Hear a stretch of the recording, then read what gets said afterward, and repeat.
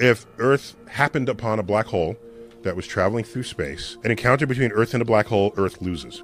Now, because we know about this tidal force that will stretch things, where the, the side of the Earth nearest the black hole will experience a much higher force of gravity than the side that's farthest. That means the side closest to the black hole will pull towards it, and so you'll end up stretching Earth. But the problem with the word stretch is Earth is not Gumby. Earth is not made of rubber. Earth is made of sort of solid substance. If you're going to stretch, put under stress the solid sphere that is Earth, Earth will basically begin to crumble into smaller and smaller bits of rock. So Earth will distort, become more and more oblong until the strength of the materials can't hold that shape anymore. And then it'll start sort of crumbling apart. And we call that spaghettification, is when you start becoming this long strand.